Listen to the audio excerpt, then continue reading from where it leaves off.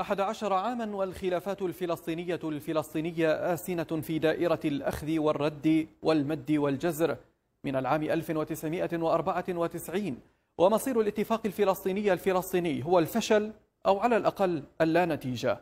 اتفاقات ولقاءات احتضنتها عواصم عربية. وقرارات بقيت حبرا على ورق ولم تنجح جميعها في تجنيب الشارع الفلسطيني الشرخة أو حتى تنجح بإدارة الخلاف. في تصريح لم يمض عليه الأسبوع. يقول محمود عباس إن كل ما يجري بحثه ليس جوهر المشكلة وإنما مظهرها. المشكلة الحقيقية هي في مفهوم المصالحة وغرضها. فنحن في فتح يضيف عباس نريد إنهاء الانقسام وتوحيد السلطة ضمن معادلة سلطة واحدة قانون واحد وبندقية واحدة. إلا أن حماس تريد إلقاء الأعباء علينا. أما حماس فترد إن السلطة تريد منا المستحيل. ويقول مسؤول في حماس يريدون سلاحنا الذي هو مصدر قوتنا ووجودنا. ووسط هذا الجدل يقف المواطن الفلسطيني رافعا لائحة مطالب لا تنتهي مطالب حتى الساعة. أنهكته اقتصاديا واجتماعيا.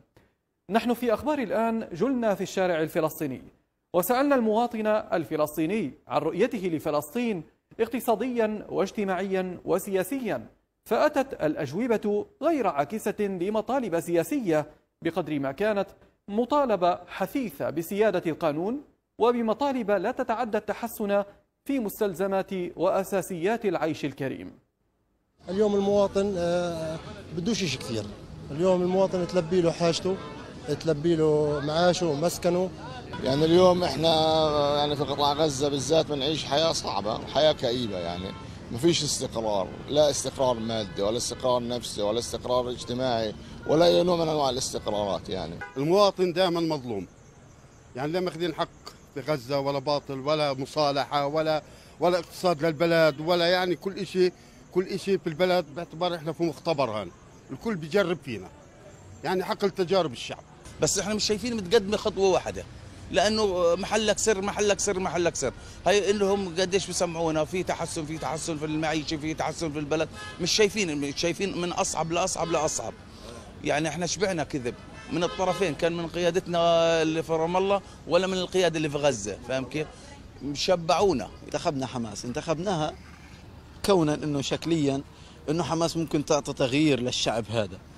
لكنه إحنا خابت الظنون هذه بمجرد إنه إحنا الجبهات الداخلية كانت تتقاتل دائما بشكل أو بآخر إنه إحنا مش مستقرين. أتمنى أنا حقيقة كشاب فلسطين عايش في غزة في ظل الظروف الاقتصادية الصعبة والأوضاع الإنسانية اللي إحنا بنمر فيها تستحق إلى قيادة جديدة وقيادة حكيمة لا تهتم إلى الكراسي ولا إلى المال.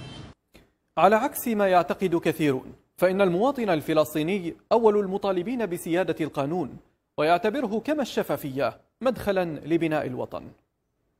مشى على كل المواطنين الفلسطينيين أو حتى على الاعلى من المواطنين. لو مشى على طبق على الجميع ممكن الاقتصاد الفلسطيني يتحسن. يعني حاليا القانون في في وضعنا في غزة آه، مش مطبق على الجميع. فلو بتطبق على الجميع يعني ممكن يتحسن الاقتصاد الفلسطيني أو آه، نمط الحياة. نمط الحياة في في غزة حاليا طبعا صعب جدا لكل المواطنين. حتى الناس اللي يعني الطبقة العالية حتى بتشكي من الوضع الحالي. فلو طبق القانون على الجميع ممكن آه، تحسن الوضع أو آه، الاقتصاد الفلسطيني تحسن شوي. باختصار لم تعكس آراء الشارع الفلسطيني إلا إجماعا على المطالب الاقتصادية وإلا انعكاسا لواقع الحال الاجتماعي والاقتصادي الذي شارف على الانفجار بظل الأزمة الاقتصادية والضغوط الاجتماعية واتساع دائرة المطالب التي لم تجد آذانا صاغية بعد.